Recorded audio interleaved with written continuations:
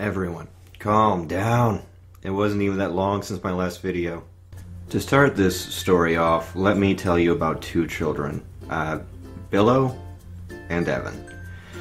Evan, uh, for all means and purposes, was the alternate dimension version of Billo. Uh, he was the one that was born uh, muscular, a bit more handsome, uh, chiseled, uh, popular, funnier, just all around a better version. Uh, then you have Billo, who was born as somewhat of a joke character. Uh, he's the character that you would throw into a rom com as the non main character, but the funny, uh, observational, look at life this way guy who tells him to go get the girl, and then the main character runs off.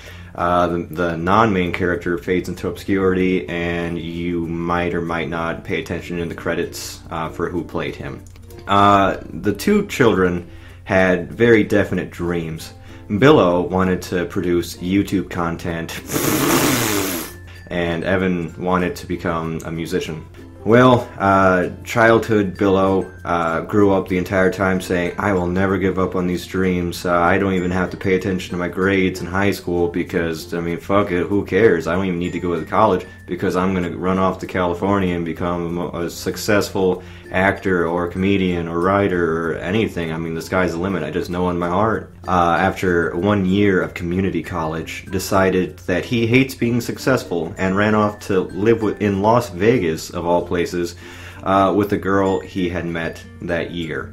And in that time in Las Vegas, uh, Billo just fucked up he just forgot his dreams. He lost his aspiration. He just let life dictate to him that he was a failure, and he gave up. He was heartbroken by the girl after two years. He moved back to Iowa. He got his community college degree, his AA. I mean, good for him.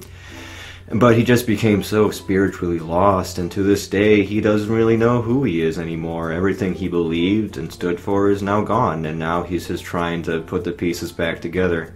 And I bet you're wondering whatever happened to Evan. Well, I can I can stop talking in the third person, right? Yeah, everybody, we're agreed. Okay, so the other day I went to go see Evan.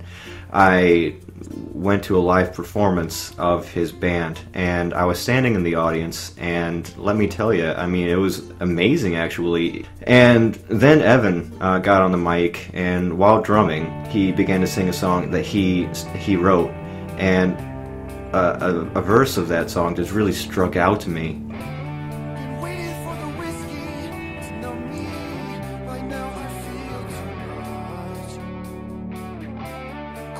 another shot, but I've had a lot.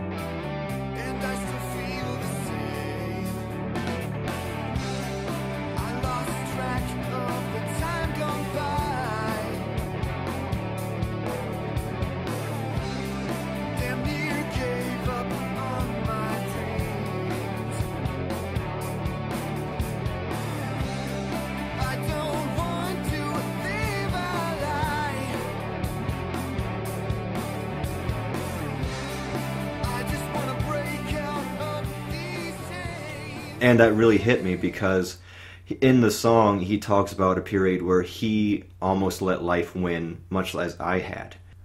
Evan if you're watching this the entire point of this whole what would you call this the vlog? I don't know ordeal more like is you've inspired me and that's the end